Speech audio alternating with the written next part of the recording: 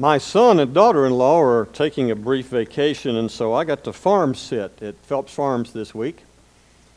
Uh, always like that. Our uh, spring lambs have all gone to the packing house, and we have a lot of lamb now. Um, good old grass fed lamb, some of the best meat you can eat.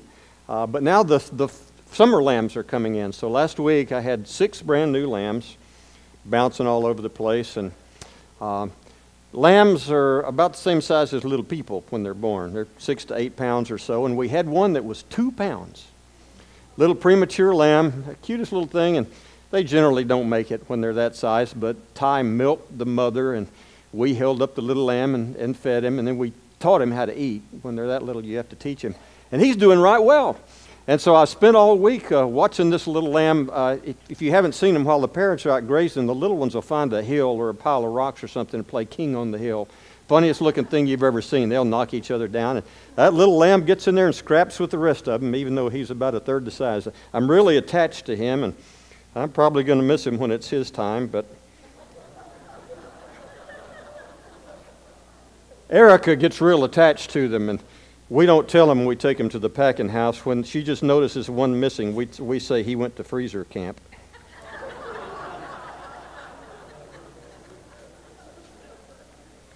well, I guess we need to talk about something spiritual, don't we?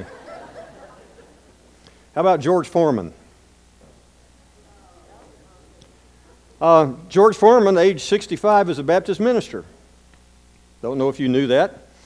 Uh, this generation may recognize him as the smiling, uh, jovial spokesperson for the George Foreman Grill, but you know, there was a time when George Foreman was the most feared boxer in the world. Uh, he won the heavyweight title by demolishing Joe Frazier in, in 1973, and after knocking out Ken Norton in 1974, he signed to fight Muhammad Ali in Kinshasa, Zaire in what would be called later the Rumble in the Jungle. Now, many thought that Ali was a little bit past his prime, and, and Foreman possessed what many people thought was the hardest punch in boxing history, and that made Foreman a three to one favorite. And as the fight progressed, Foreman stalked Ali mercilessly, landing blows that would probably paralyze the average man. And by the middle rounds, Ali was leaning on the ropes covering his face with his gloves, kind of like this, while Foreman just pounded on him. Uh, most observers, myself included, thought Ali was in trouble, and some even thought that the fight should be stopped because he wasn't even fighting back. Uh, Ali later referred to his defense as rope a dope. And it served him well as the massive foreman fighting in the African heat and humidity, tired and punched himself out and Ali rallied to win the eighth round. You probably wonder what this has to do with Ephesians, don't you? Turn to Ephesians, if you will, chapter 6. Ephesians 6. I want to remind you that as we, we undertake our study of the Pauline literature, uh, taken in the order in which it was most likely penned, um, we're, we're looking at a, a love letter, in essence, written by Paul to what's arguably his favorite congregation. And in the first three chapters, he's reminded them about what Christ has done for them. And in the last three chapters, he's saying, okay, so what? Because Christ has done this for you, how should you live? And so we were into the submission thing last week. We talked about submission and how we ought to submit ourselves to authority. And we kind of take up there in chapter 6 when he says, Children, obey your parents in the Lord, for it is right. Honor your father and mother, which is the first commandment with a promise, that it may go well with you and that you may enjoy long life on the earth. I don't, did this bother anybody when you read that? Not that you're mad at your parents, of course, but did it bother you that it said this is the first commandment with a promise? Didn't bother anybody? Would it bother you if I told you that that's not true? Turn to Exodus chapter 20, verse 6. Exodus 26.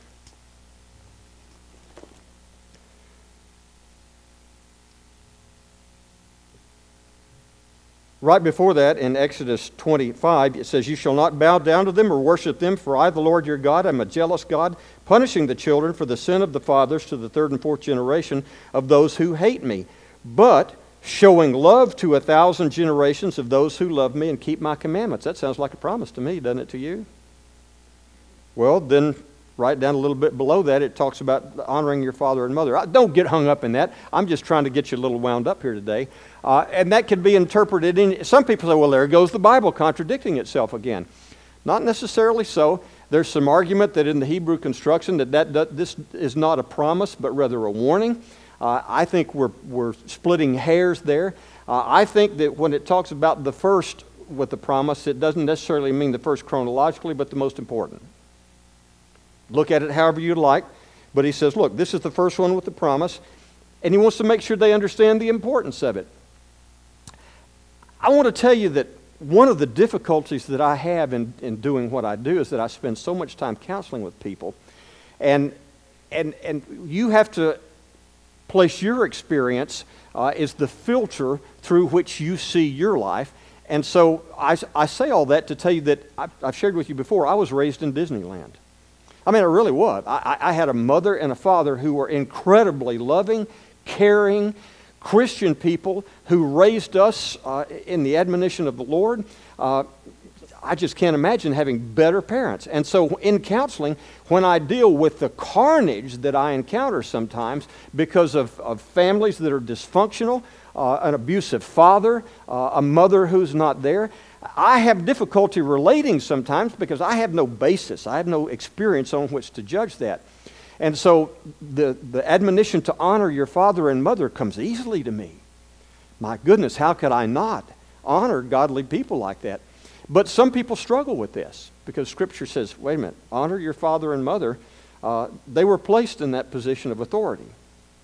Uh, but let me tell you, it's no different than honoring a bad boss you know, uh, even an abusive husband, it said to, to honor your husband, to, to submit to your husband. We are to submit to authority. That doesn't make right what they do wrong. But I want you to know that just like we talked last week when it talked about wives submitting, it, it also in reciprocity talked about husbands loving. Well, look what it says here Fathers, do not exasperate your children.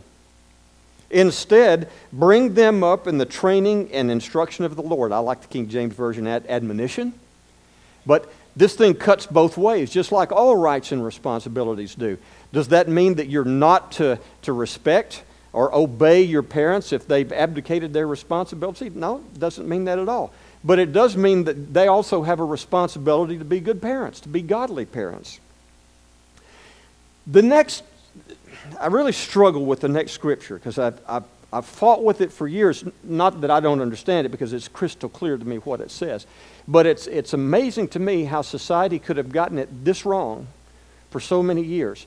Because I have people on two different sides of this question have completely misused this. Slaves, obey your earthly masters with respect and fear and with sincerity of your heart, just as you would obey Christ. Now, lest anyone think differently, let me tell you that beyond no shadow of a doubt in my mind, uh, does there's no way that I think that this, that this says that slavery is okay. Now, you're saying, well, so what? I, how could you look at it any other way? Let me tell you what, there were generations of preaching who taught that, it, that they justified slavery by saying, well, look what the Bible says. That was wrong, R O N G. Absolutely. No way was that right. And to this day, I cannot imagine how a person who called themselves a follower of Christ could justify slavery. Can't, in my mind.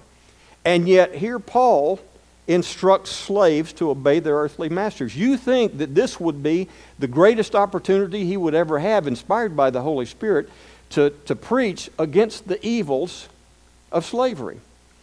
But I want you to look at, a, a, let's just set slavery aside for just a moment. We'll come right back to it. I want you to look at a couple of other issues. Uh, the Bible gives us instruction for divorce and also says God hates divorce, does it not? The Bible gives us instruction on how to dig in polygamy while being crystal clear that God wishes marriage to be between one man and one woman. So the fact that God gives us instruction on how to deal with it does not mean that He approves of it or that he even tolerates it, but that he knows the hardness of men's hearts. Now, one of the difficulties is there has arisen a school of theology, uh, and if, if you've done study of other theologies within the Christian faith, you, you will undoubtedly have encountered it, and it's called liberation theology. Actually began in South America in the Catholic Church, and it, it will pop up among oppressed peoples as a gospel of liberation, saying that salvation is found through freedom, equality, and social justice. Did Jesus speak words about those? Absolutely, yes, he did. Is salvation found through them? Absolutely not. I don't know how you can justify that. Did Jesus preach about social justice? He was absolutely all about social justice. Is salvation found through it? No, it's not. So I want to set right what Paul's talking about here. Paul understood that in his lifetime, he was not going to eradicate the scourge of slavery. He says something very interesting in here. He talks about slaves' relationship to their masters. He says, Obey them not only to win their favor when their eye is on you, but like slaves of Christ, doing the will of God from your heart. Serve wholeheartedly as if you were serving the Lord, not men, because you know that the Lord will remind everyone for whatever good he does, whether he's slave or free. Now, look what he says to the masters Treat your slaves in the same way. Do not threaten them, since you know that he who is both their master and yours is in heaven. What do you have in common with your slave? You are both believers. And it's beyond me how you could, as I said, be a slave owner and be a Christian. Paul dealt with that in his letter to Philemon. Remember, the pastors preached a marvelous sermon about that when he says, Philemon, why did your slave Onesimus have to come halfway across the world for someone to share Christ with him? You should have been treating him like a brother. And he wrote to Philemon, entreating him to take, uh, to take Onesimus back. Because their bonds as brothers were stronger than the bonds of, of slave and, and master. Let me tell you what I think he's talking about here. I can't do anything about the institution of slavery right now. It's wrong. He preached against it. Believe me, it's wrong. But he said, Look, if we can't overturn it now, I want you to exist in your circumstances now because we got to look further in the future. And let me tell you something that is probably uh, of little solace to the slave at the time. But what if I said to you, you can spend eternity in glory, Dennis, if you'll be a slave for one second. Now think about it. As bad as it may be seem to be a slave in, this, in your position in life right now, the time you spend as a slave is like that compared to the time you'll spend in glory. So, right now, even though our position is not good, let's concentrate on eternity and not look at our current circumstances. Please do not think that because he tells slaves to obey their masters that he in any way approves slavery. He did not. But like all these reciprocal relationships, husbands and wives, children and fathers, what does he say the responsibility of the slave master is? Don't you dare abuse them and treat them like your brothers. Then I like the next section. Finally, be strong in the Lord and in his mighty power. Put on the full armor of God so that you can take your stand against the devil's schemes. For our struggle is not against flesh and blood, but against the rulers, against the authorities, against the powers of this dark world, and against the spiritual forces of evil in the heavenly realms. He wants to put it in perspective, and let me tell you what he's talking about here. He said, You see oppression. And, and let me tell you, if you're a believer, you will see oppression sometime during your life, or I got to say, you're not doing it right. You're too much like the world if you don't. But he said, Look, you'll see oppression. That's bad enough, but that's not what you really ought to fear. Remember what Jesus said in, in another time? He said, You don't need to fear the people who can put you to death, but fear him who can put your soul in hell. He said, There is battle going on up there, and as big as our oppression may seem right now, as big an issue as that seems, there is spiritual warfare going on. Now, I'm not going to go all Twilight Zone on you here. Uh, but I want you to know uh, you don't have to be charismatic, uh, you don't even have to be Baptist to believe that there is spiritual warfare going on. Absolutely. somebody asked me one time, Do I believe in demons? Well, yeah, I do. Yeah, I do. I, I don't uh, slap people over the head and try to drive them out of them. I don't look for them underneath every pew. But I believe definitely that Satan is alive and well and his demons are too. I really do. Do I believe in demon possession? Yes, I do. I don't know what form that takes. Uh, I don't know exactly how that works, but I think it's definitely scriptural. And I think that there is war going on out there between the, between the forces of the heavenly and the devil.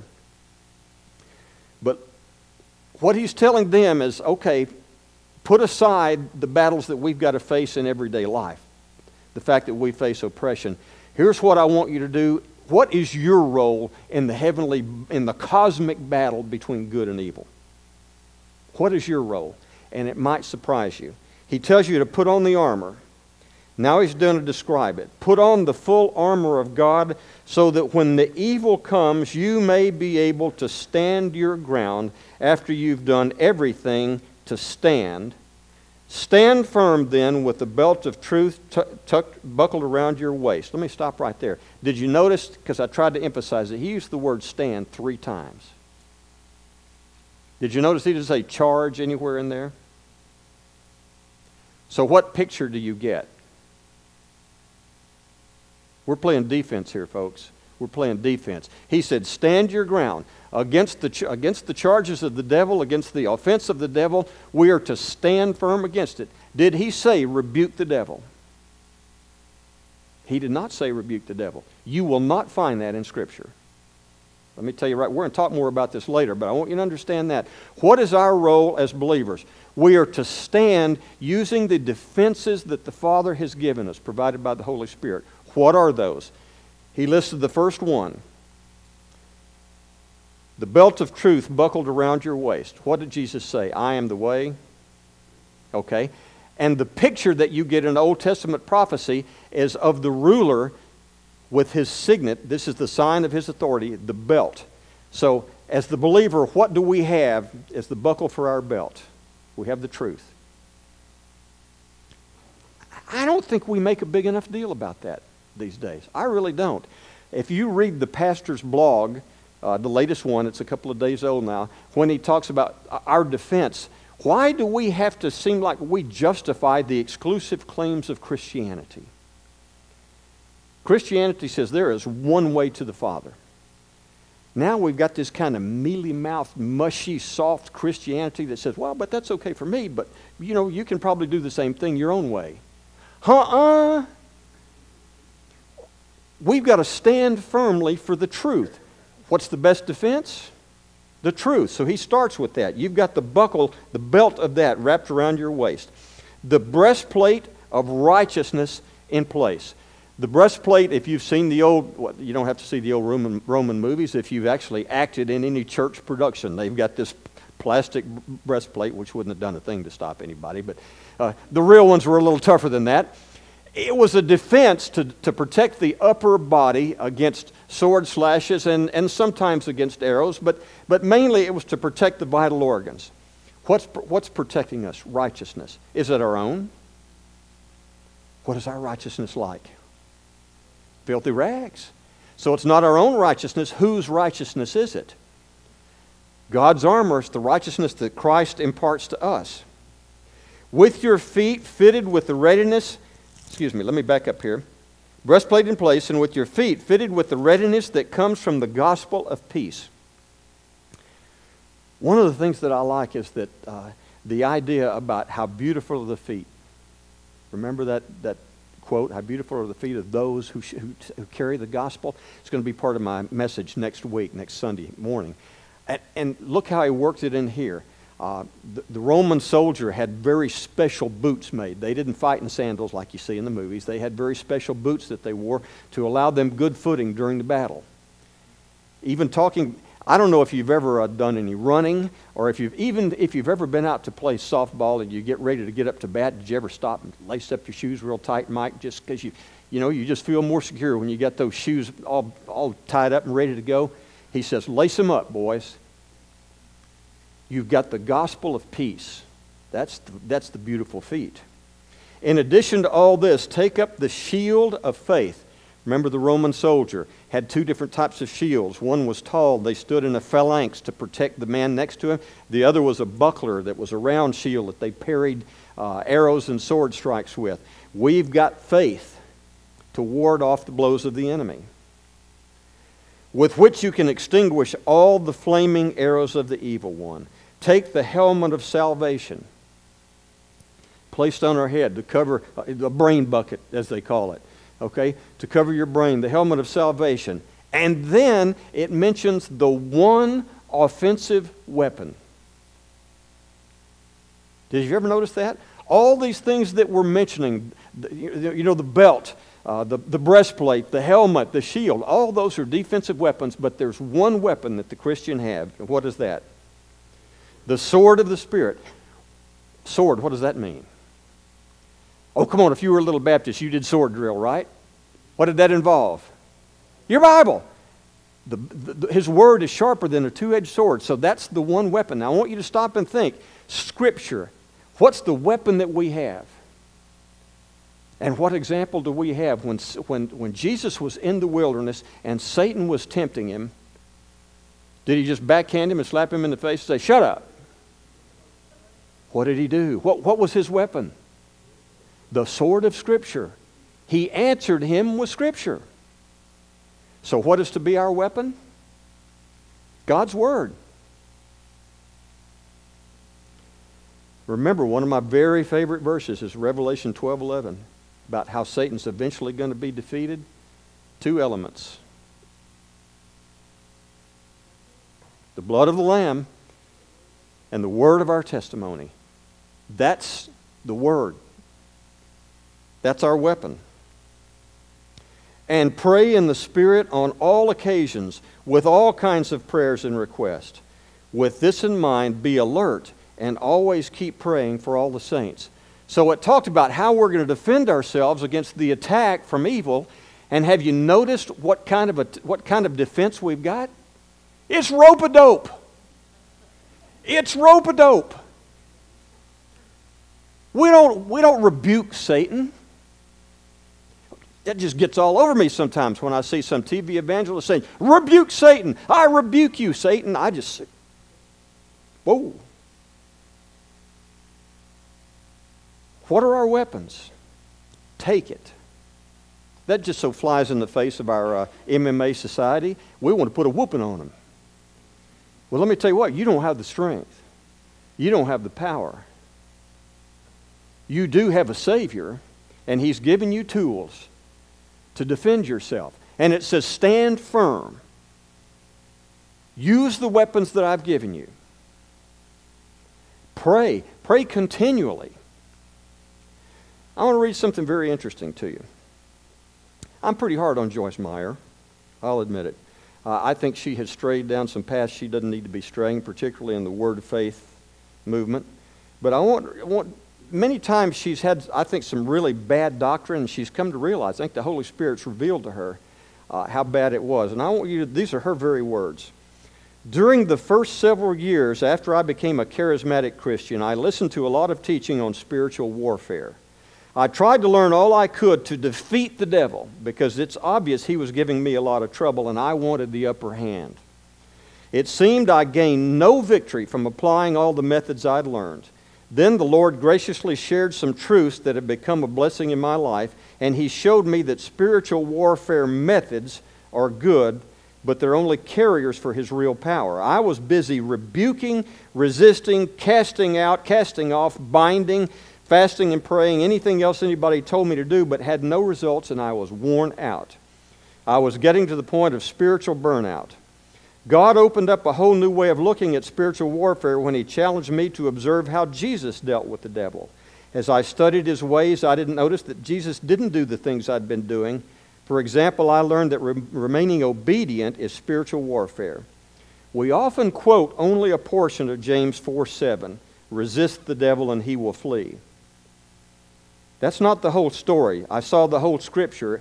So be subject to God Resist the devil, and he will flee from you. The first part about submitting to God is just as important as the second part about resisting. So I want to disabuse you of these ideas that somehow you are empowered and you can go about rebuking the devil. That's not your job. Jesus can handle the devil. The devil's fate is assured. There is a place awaiting him. He knows it. We know it. Our job's not to rebuke him. Our job's to do what? To resist him. I don't know about you, that was spiritually very liberating for me. Why do we want to rebuke the devil? Really? Power. You know, I want the power.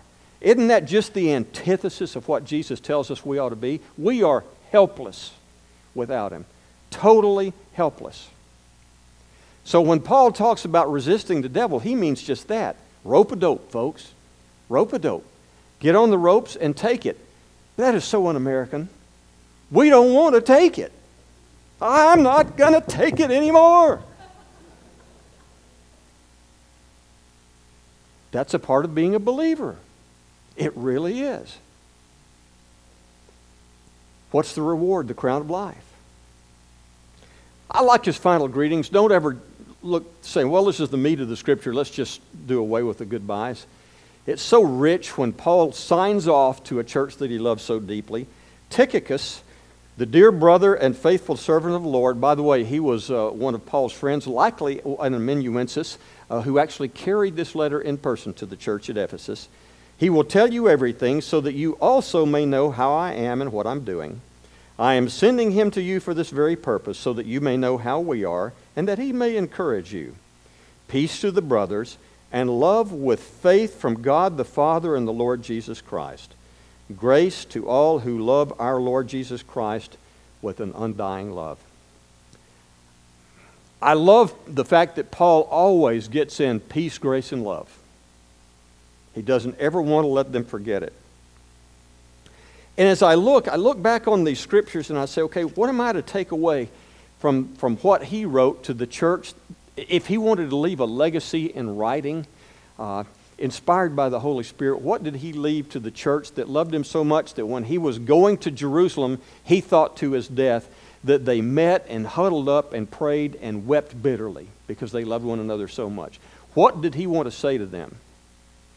And if, as I look back over the six chapters in the letters to the church at Ephesus, I see that he establishes first, let, let's make sure we understand this. We are sinners. Okay? Christ died for those sins, He took our place. And then he says, What should our response be? We ought to live a Christ like life. How successful are we going to be at that? Not as successful as he was. But we're never cease doing that. And what is a big part of that? Remember when we kind of struggle through the part about wives, submit to your husbands, husbands love your wives. How did all that discussion start? Submit to one another. Because what was foremost in the body? What did he want more than anything else in this church that he loved so deeply? Unity. He wanted unity. Well, that was then, and this was now, and we got politics, and you know, we've got church meetings and that kind of thing. Is that stuff not applicable to us today?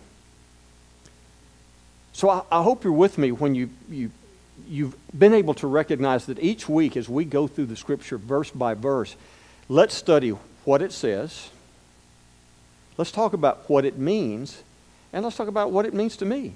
Is it applicable in my life today? Is the Holy Spirit still moving in my life? Is what Paul said to the church at Ephesus what Paul would say to us? I think so. I think so. So then the next logical question is what is our response? Well, it's 10:30. Time to go home. our response ought to be change. We can't be like them because we are not like them. They are not us. We are not they. I don't know how many other ways to say it. What Paul said is you can't be part of that world. Have you noticed that most of what I advised you, what Paul advised us in the last three chapters, are an anathema to American society today? Have you noticed that? So you're left with one of two conclusions. Either he just got it wrong, or we've gotten off track. I prefer to think the latter. I think he got it very right under the inspiration of the Holy Spirit when God gave it to, to, to, him, to them to write down. And, and he recognized even in the day that false teachers were going to creep in and we were going to be drawn inexorably, continually, strongly to the world. Because we are, after all, sinful, fallen people. But what is our charge?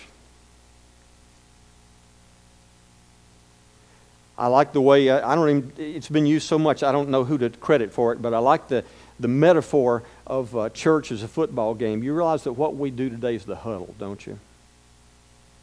How many games are won in the huddle?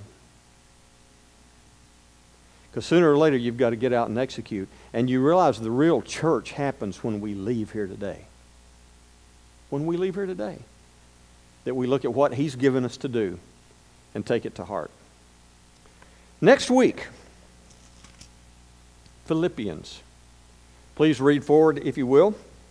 I was going to tell you, please read chapter 7 of, of Ephesians, but I figured somebody would get all mad at me when I do that. So, so uh, as, as it so happens, finally, we've got a couple in order, and the next, next one written was likely the, to the church at Philippi. So please read that if you would. Let's close with a word of prayer. Heavenly Father, I thank you for your word. I thank you that it glows, Father, that it's light in a dark world. Father, I pray that we be illuminated, Father, and that when we leave this place today, that we would indeed be people sharing Jesus. Bless us as we go today, Father, for we ask it in the precious name of your Son. Amen. Please find someone you don't know and say hello to them.